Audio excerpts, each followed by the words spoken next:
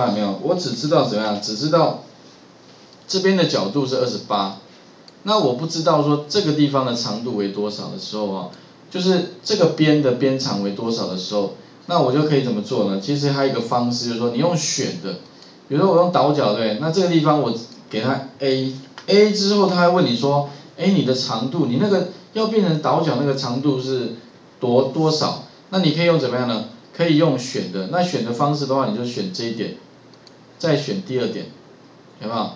那第一点到第二点就会产生一个长度了，好，再来输入多少？输入二十八，二十八，Enter，哎，二十八就是它的那个角度嘛，哈，Enter，然后再来就是用选的，第一个是它的长度，第二个是它的角度，有没有？你会发现它自己就会这一条线嘛，自己就帮你做出来了。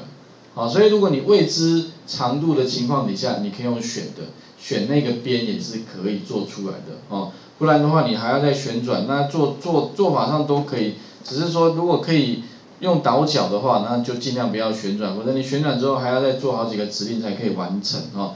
OK，那这个部分的话，请各位再试试看。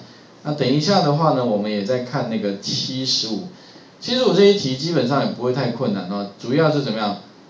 学习用近色，那近色的话呢，它有这边跟这边，这边跟这，因为你如果用环形阵列不行啊，为什么？因为它们之间的距离是不一样的，这边之间的是二十八，这边是十，呃二十四，这边是十八，对不对？